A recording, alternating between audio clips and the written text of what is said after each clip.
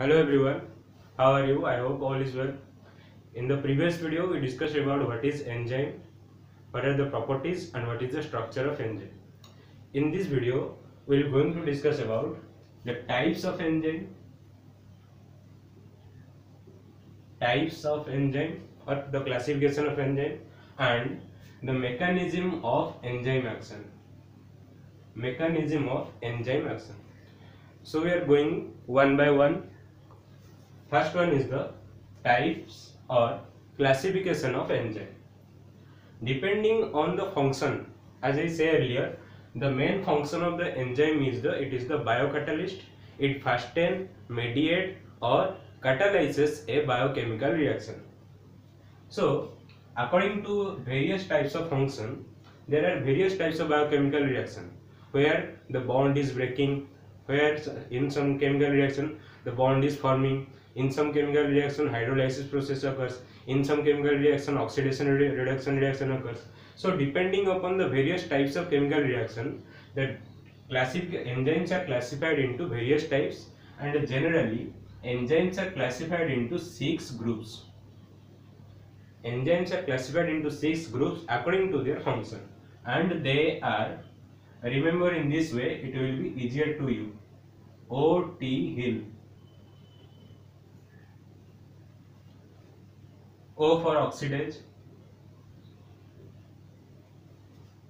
oxidase, transferase, hydrolase, isomerase, ligases.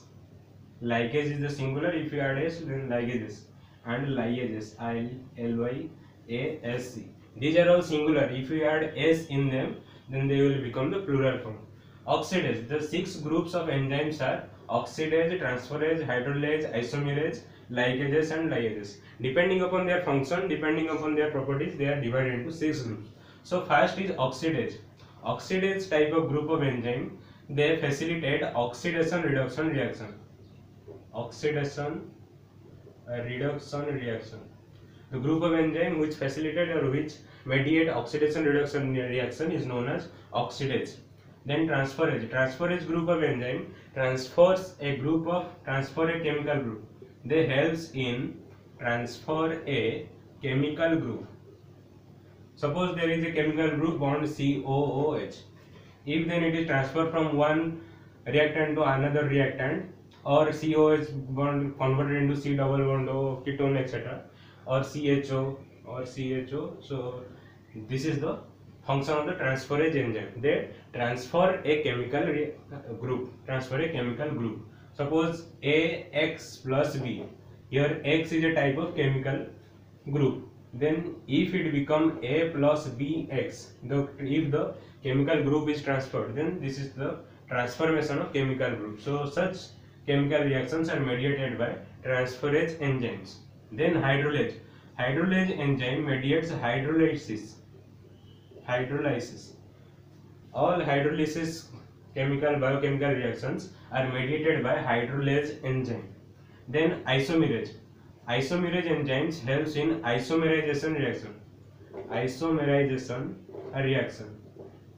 We know what is isomerization reaction. What is isomerization? Isomerization means when two chemical compounds, when two chemical compounds are structure are similar in their chemical formula having same chemical formula but differ in their chemical structure differ in chemical structure then they both are known as isomers suppose if you say glucose and fructose glucose and fructose are chemically the chemical formula glucose and fructose are same chemically glucose and fructose are same C six H twelve O six but they are structurally different. So this is a type of isomerization. When glucose is transferred or converted into fructose, this is a type of isomerization reaction and this isomerization reaction is facilitated by isomerase enzyme.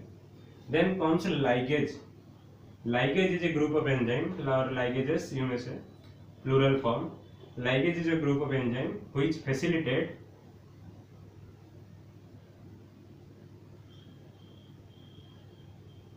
addition A D D I D N addition of two groups or two chemical compounds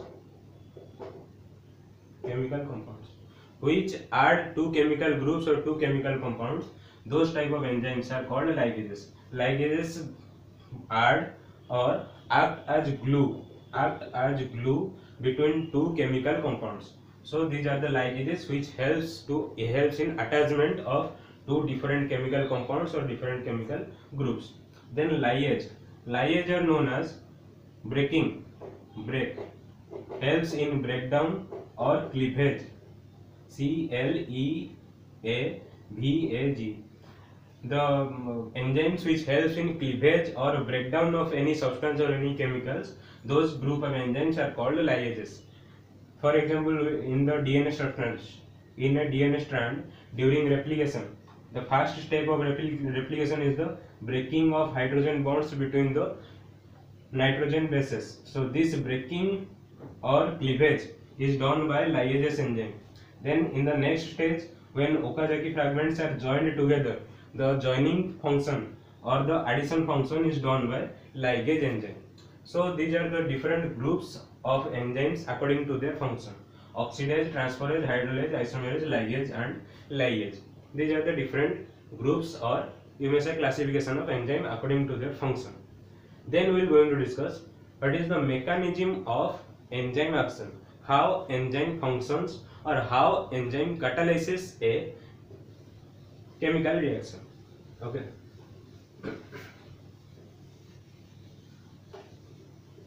mechanism of types is complete then mechanism of enzyme action mechanism of enzyme action or you may say enzyme catalysis catalysis how enzyme catalyzes a chemical reaction see there are different enzymes various types of enzymes we discussed these different enzymes have different type of function and their function is also the path of function the process of function is also different from each other every enzyme have different path different path or different type of function different type of function in molecular level in molecular level. In molecular level, each enzyme differ from each other. Every enzyme differ from each other according to their catalysis process. But biochemically, but biochemically, they follow. But biochemically, they follow a particular particular principle. They follow a particular principle or pathway.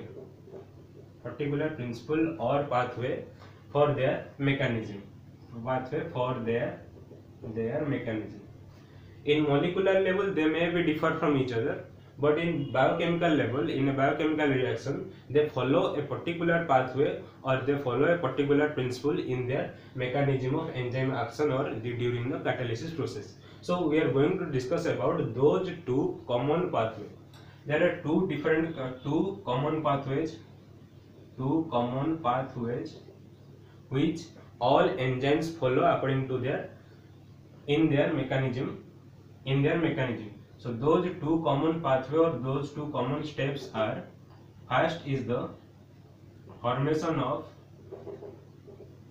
enzyme complex enzyme substrate complex and second one is the lowering of activation energy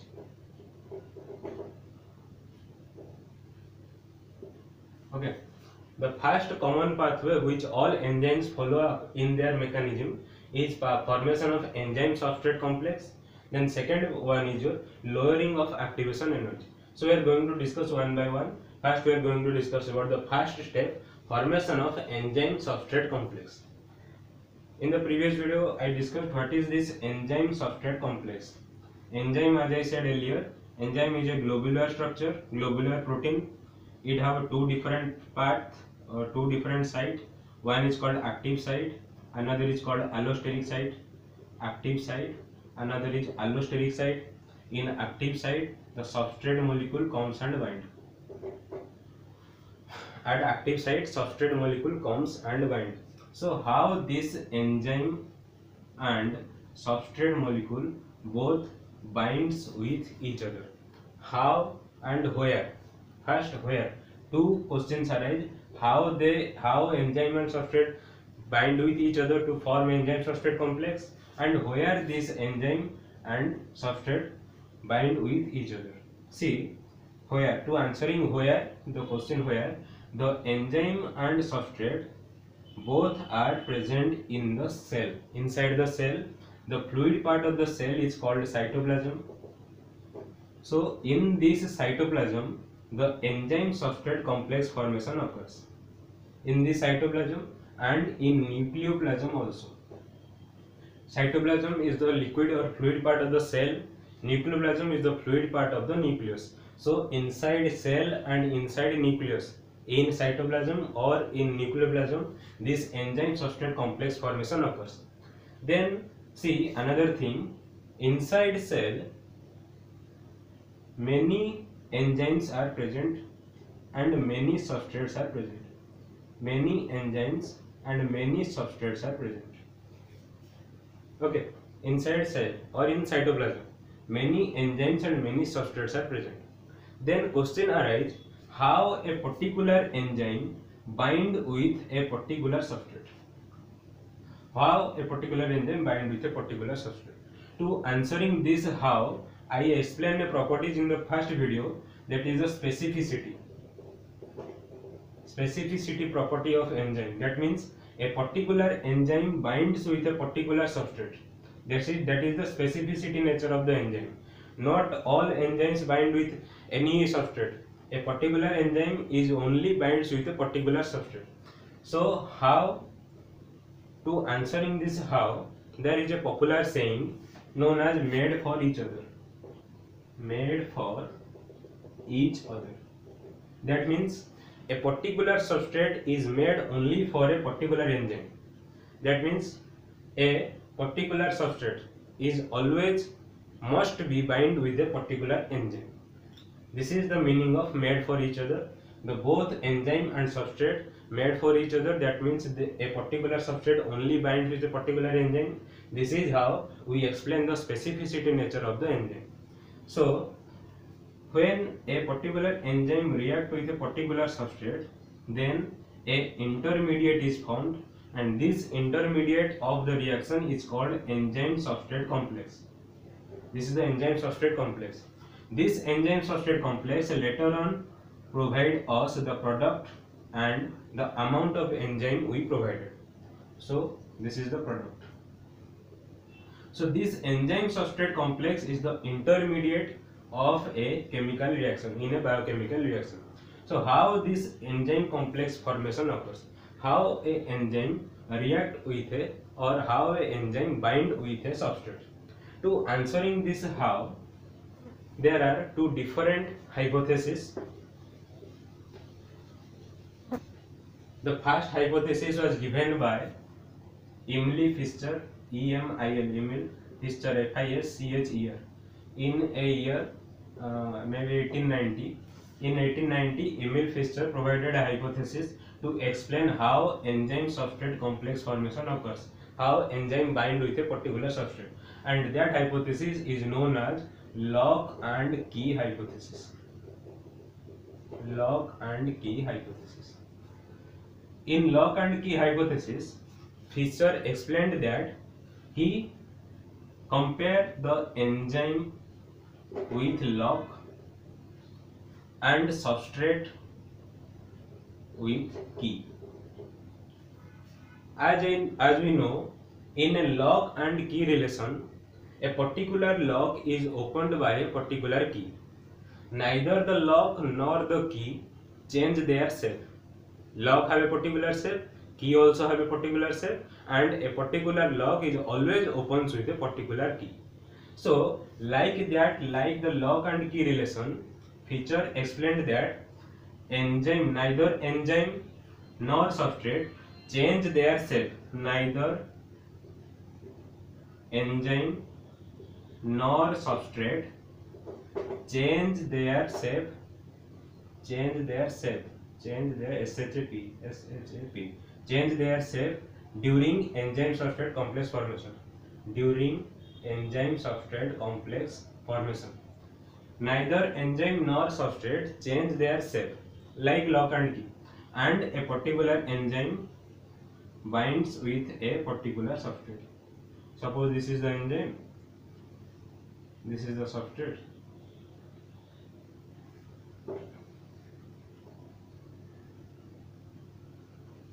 so this is the enzyme this is the substrate they doesn't change their shape they directly combine with each other. This is the enzyme substrate complex formation so this postulate is given by Fischer in the lock and key hypothesis. As a as relation in the lock and key both enzyme and substrate doesn't change their shape during the enzyme substrate complex formation. But later on but later on it was observed that but later on it was observed that observed that enzyme is enzyme is not rigid as it is flexible or elastic in nature. Flexible or elastic in nature. See, if enzyme doesn't change its shape, that means it is a rigid, it is a hard shape, it is a very solid or a hard shape, but it was observed that enzyme is not that much rigid. It is a flexible or elastic in nature. So, this lock and key hypothesis fails to explain the elastic nature of the enzyme during enzyme substrate complex formation. That's why this lock and key hypothesis was rejected. That means this lock and key hypothesis, lock and key hypothesis fails to explain fails to explain the flexible nature flexible nature of enzyme. That's why that's why the lock and key hypothesis was rejected. That's why the lock and key hypothesis was rejected because it fails to explain the rigidity. Sorry, it fails fails to explain the flexibility nature of the enzyme. The lock and key hypothesis explained that enzyme is rigid. That's why it doesn't change its shape. That's why this hypothesis was rejected, and another hypothesis came into medium, and that is known as induced fit model. The second hypothesis which is given is known as induced fit model or induced fit hypothesis. Induced fit hypothesis. This hypothesis was given by Daniel Khosland, K-H-O-S, Khosland, L-Land, Land, Daniel Khosland Jr. So this hypothesis or this induced fit model was given by Daniel Khosland in a year, maybe in 19th century, 19th or 20th century, in a year. Daniel Khosland give this induced fit model. In this model, Khosland explained that the active center or active site of enzyme and substrate mark the term. The active site of enzyme this is the enzyme and this is the active site where a substrate comes and binds the active site of enzyme and substrate the structure of the structure of the structure of active site of enzyme and substrate may be complementary. May be complementary. Complementary means similar. May be complementary means similar in enzyme substrate complex. May be complementary means may be similar in enzyme substrate complex but not in free energy but not in free enzyme state or but not in free state. See in a cell as i explained in a cell many enzymes are present. This is one enzyme this is another enzyme this is another enzyme. Many enzymes are present. Their shape is not that like when it bound with a substrate. That means in free state when enzyme is not bounded with the substrate that is the free state of enzyme. This is only enzyme this is the free state. When it bind with a substrate and form enzyme substrate complex then that is the complex state. In free state the structure of active site is dissimilar. That means not similar to the structure of active site when it bound with the substrate. This is known as the this is said in the induced fit hypothesis. That means the structure of active site in free state is not similar to the structure of active site during enzyme substrate complex formation. That means the active site, the structure of active site is changed according to the structure of the substrate.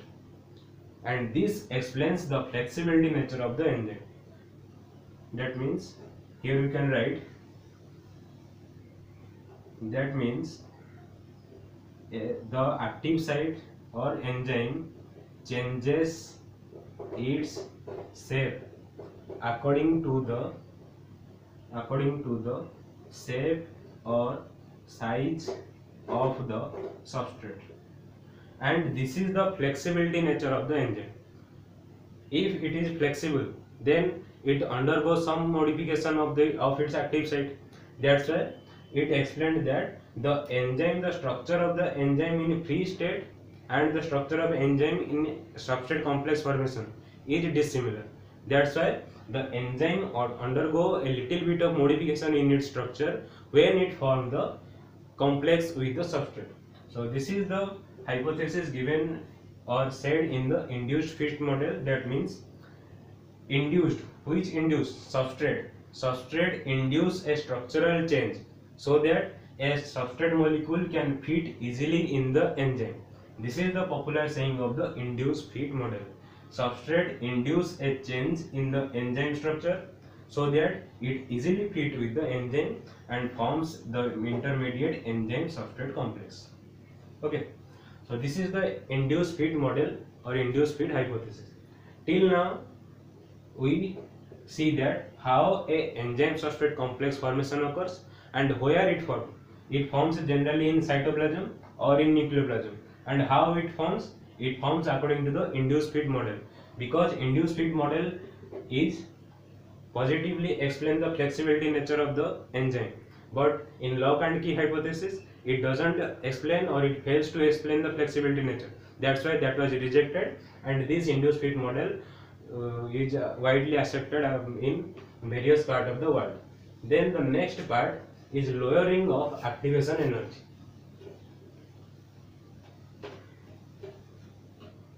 see in the cytoplasm. See in the cytoplasm there is free enzyme there is a free substrate. The enzyme and substrate react according to the induced fit model and forms a enzyme substrate complex. Now this enzyme substrate complex will gives us product and the amount of enzyme we given. So how this step occurs we are going to discuss this step till now we discussed. This step is discussed. The second step how enzyme substrate complex gives us the product. This is explained by lowering of activation energy. Lowering of activation energy. What is activation energy? Lowering means you know when something decreases. Activation energy.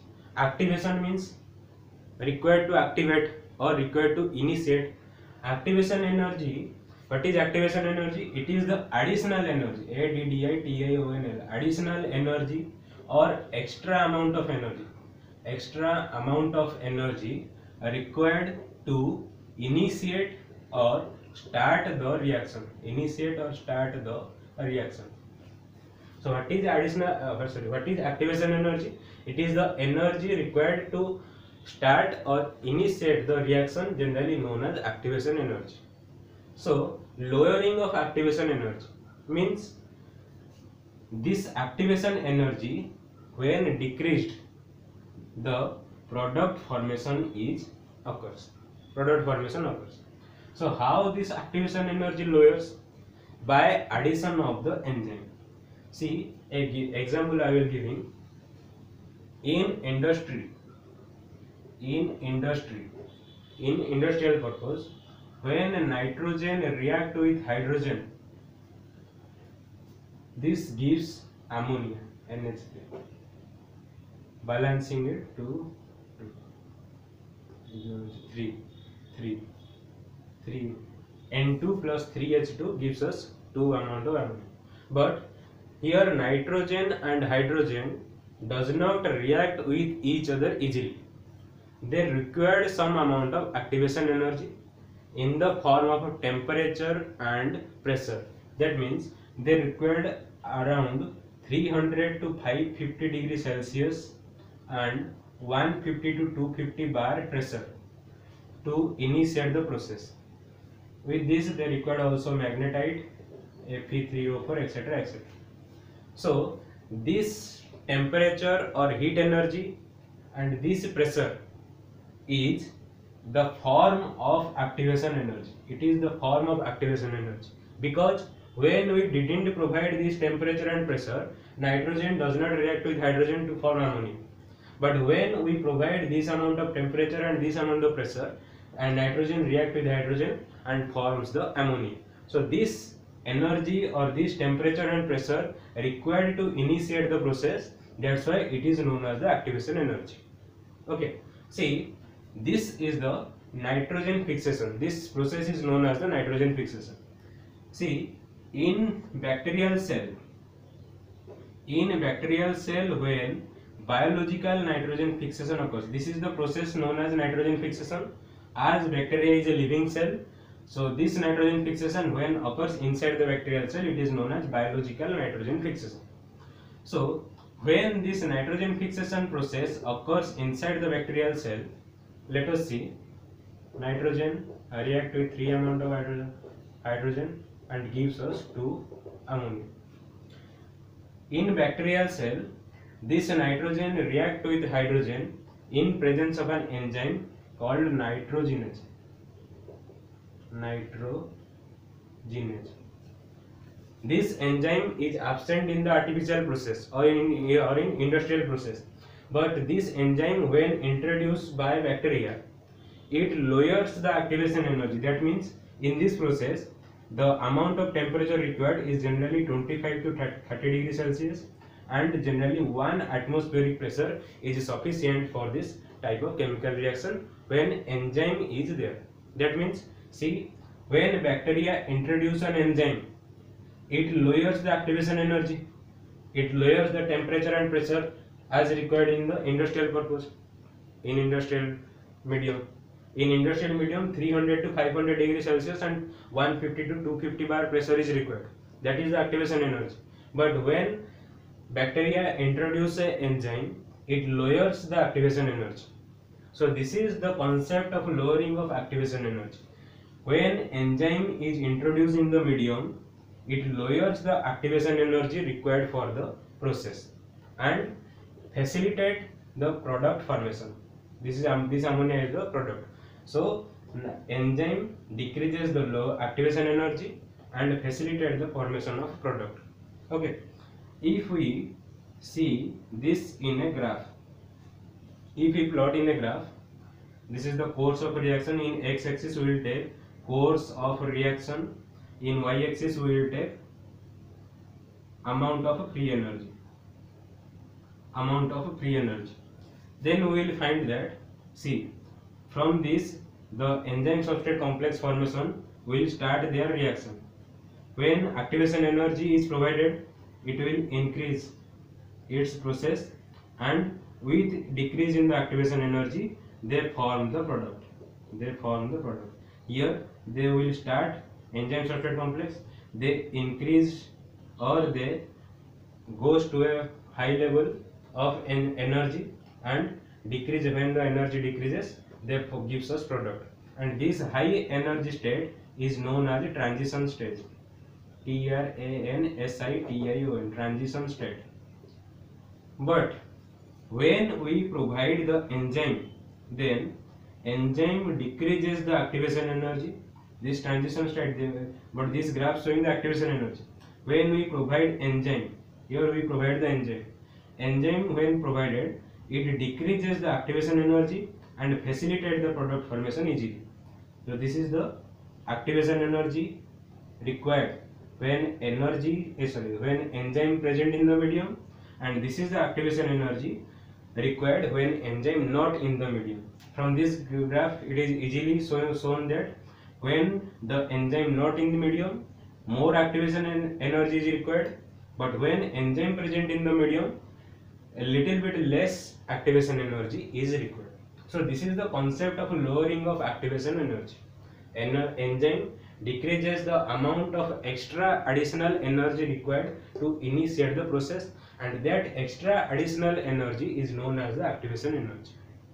Okay. So this is the concept of lowering of activation energy.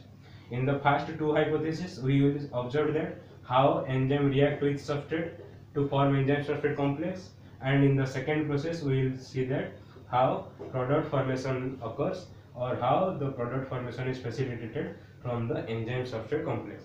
Enzyme and substrate reacts according to their induced fit model and enzyme substrate complex formation gives rise the product according to the uh, concept lowering of activation energy. So this is the important things of mechanism of enzyme action or mechanism of enzyme catalysis. Then there are two different type of catalysis process. Two different type of catalysis process. One is called covalent catalysis. Covalent catalysis. Another is called general acid base catalysis. General acid base catalysis. Covalent catalysis means when a covalent bond is formed when a covalent bond is formed between reactant then that is known as covalent catalysis. When covalent bond is formed between two reactant that is known as covalent catalysis.